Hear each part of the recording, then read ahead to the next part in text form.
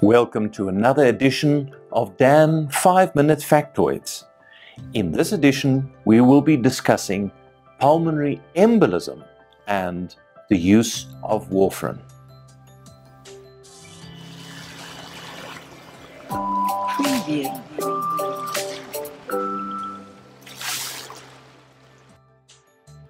Here's the question from the diver that I'd like to answer directly and also in principle.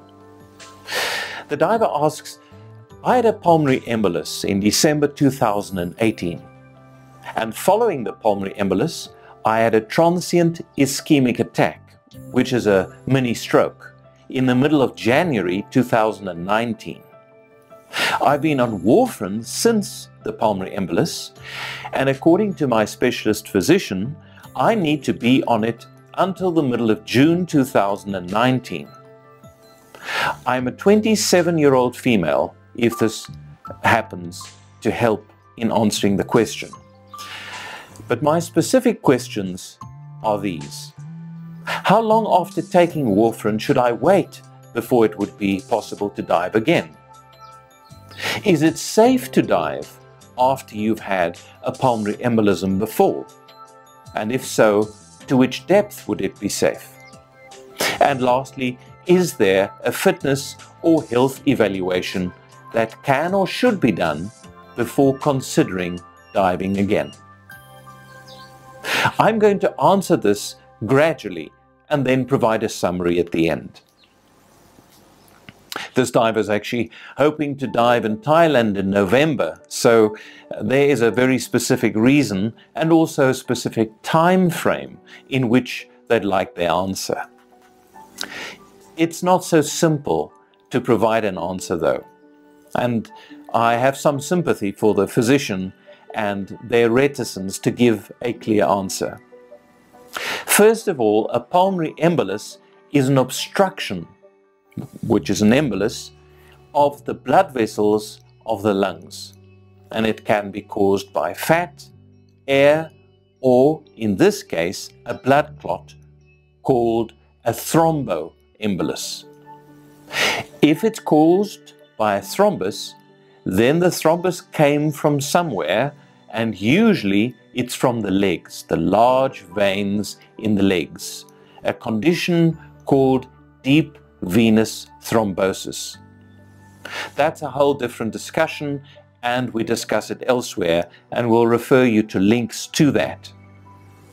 But the resulting obstruction in flow can be significant, and the cardiac output of blood can be curtailed by a significant extent, and it can be life threatening. Now, initial treatment focuses on the cardiac impairment. In other words, to get the circulation going again, to bust the clot if necessary, and to help the lungs with ventilation and with fluids.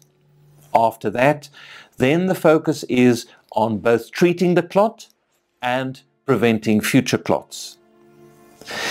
The concern in this particular case is that there was a clot that went into the lungs, which caused the pulmonary embolus, but there was subsequently a clot that actually uh, obstructed the blood vessels in the brain meaning it caused a mini stroke.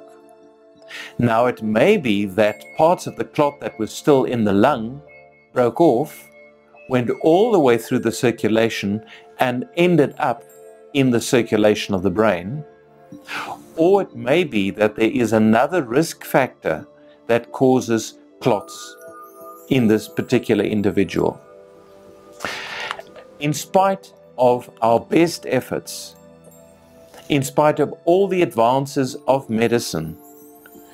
The risk of dying as a result of pulmonary embolism, regardless of the cause, is about 30%, which is very high. So the questions, which were as follows How long after taking warfarin should I wait before diving again? should really depend on why warfarin was required in the first place. In other words, where did the clot come from? Why was the clot formed?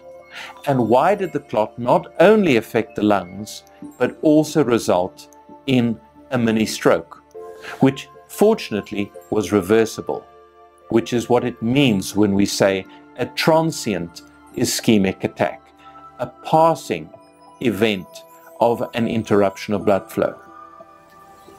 The second question was Is it safe to dive after having a pulmonary embolus and to what depth?